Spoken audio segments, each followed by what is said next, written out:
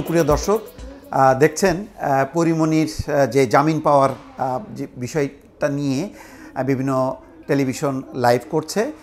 কিছুক্ষণ আগেই তার জামিন হয়েছে, মাদকের যে মামলা ছিল এবং সেই মামলাটা কিন্তু খুবই প্রত্যাশিত ছিল। কিন্তু এই মামলাটা নিয়ে কেন কয়েকদিন ধরে বেশ জটিলতা তৈরি হয়েছিল কেন তাকে জামিন দেওয়া হচ্ছিল না এই মামলায় এটি নিয়ে কিন্তু একটি প্রশ্ন উঠেছিল এবং সর্বশেষ তাকে আদালতে হাজির করানোর পর বলা হয়েছিল প্রায় একুশ বাইশ দিন পরে তার জামিন আবেদন করার জন্য।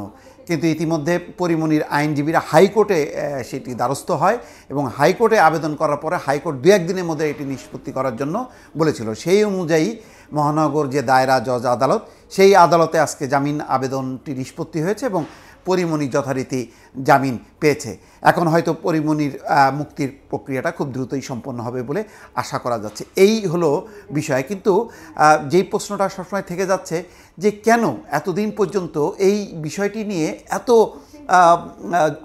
ঘোট পাকানো হলো কেন এত জটিলতা তৈরি করা হলো, সেই বিষয়টা কিন্তু থেকে যাচ্ছে। কেননা পরিমণিকে ঘিরে কিন্তু অন্য মামলাও আছে। আপনারা জানেন যে সেই আটই জুন যে বোট ক্লাবের যে ঘটনাটা, সেই ঘটনায় যেটি হয়েছিল যে পরিমণি অভিযোগ করেছিল দুজন ব্যবসায়ীর বিরুদ্ধে নাসিরুদ্দিন মাহমুদ এবং অমি রহমান, তার বিরুদ্ধে যে ধর্ষণ চেষ্টা এবং হত্যা মামলা।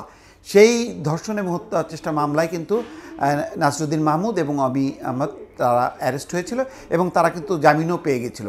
কিন্তু তার প্রায় দু মাস পর আরেক অভিযানে পরিমণিকে আটক করা হয়। সেই আটকটা নিয়ে বেশ সরব হয় এবং ওই সময় যেই নাটকীয়তা তৈরি হয় ফেসবুক লাইভে এসে পরিমণির যেই চিৎকার, চেঁচামেচি, সেটি সবাই দেখেছে।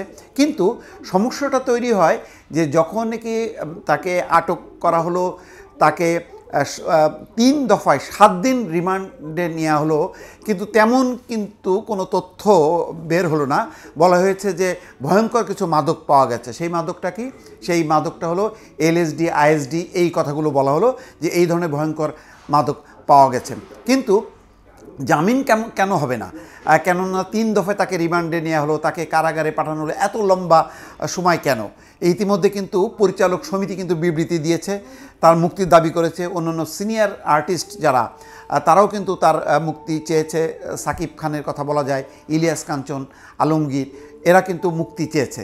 শুধুমাত্র দুঃখজনকভাবে চলচ্চিত্র যে শিল্পী সমিতি শিল্পী সমিতি তাকে সাসপেন্ড করে দেয় তার সদস্য পদ এটি নিয়ে কিন্তু একটি বিতর্ক তৈরি হয়। সব মিলিয়ে যেটি পরিমণিকে ঘিরে যে পরিস্থিতিটা তৈরি হয়ে- হয়েছিল, সেটি মনে হচ্ছিল যে পর্দার অন্তরালে কেউ হয়তো একটি চেষ্টা চালাচ্ছে বা দাবার গুটি চালাচ্ছে যাতে পরিমণি মুক্তি না পায়, এরকম একটি বিষয়। ফলে একটি আইনের শাসন সে তার নিজের গতিতে চলবে কি চলবে না, সেই প্রশ্নটা কিন্তু সামনে চলে আসে। সেই বিষয়টির আজকে নিষ্পত্তি হলো। এখন দেখার বিষয় যে পরিমণির যে মামলাটি করেছিল আটই জুন ব্যবসায়ীর বিরুদ্ধে যে তাকে ধর্ষণ এবং হত্যার চেষ্টা, সেটি সঠিক নাকি বেটি? সেটি যদি সেই মামলার তদন্ত রিপোর্ট যদি তার বিপক্ষে আসে, তাহলে কিন্তু আবার নতুন করে আইনি প্রক্রিয়া শুরু হবে। কেননা মিথ্যা মামলা দায়েরের জন্য কিন্তু পরে উল্টো কিন্তু পরিমাণী ফারবে এই, সেই বিষয়টি নিয়ে কিন্তু এখনও নিষ্পত্তি হয়নি। কিন্তু ইতিমধ্যে বিভিন্ন চলচ্চিত্রের যেই মালিকরা তারা বলছেন যে পরিমণি আটক থাকার কারণে বীরকন্যা প্রীতিলতা, যেটি সরকারি অনুদানে, সেটি সহ বেশ কিছু চলচ্চিত্রের নির্মাণ কাজ কিন্তু বন্ধ হয়ে আছে। অন্তত এখন হয়তো সেই পরিস্থিতি থেকে মুক্ত হলো, সেই পরিস্থিতির অবসান হলো। জামিন পাওয়ার মধ্য দিয়ে পরিমণি হয়তো আবার অভিনয় জগতে ফিরে আসবে। কিন্তু তার বিরুদ্ধে যেই তদন্ত, মাদকের মামলা এবং তার দায়ের করা যে মামলা, সেই মামলার কিন্তু তদন্তটা ঝুলে থাকল। ফলে বিষয়টি যে এখানেই নিষ্পত্তি হয়ে গেল জামিন পাওয়ার মধ্য দিয়ে, সেটি মনে করার কোনো কারণ নেই। দর্শক, আজ এ পর্যন্তই। আল্লাহ হাফেজ।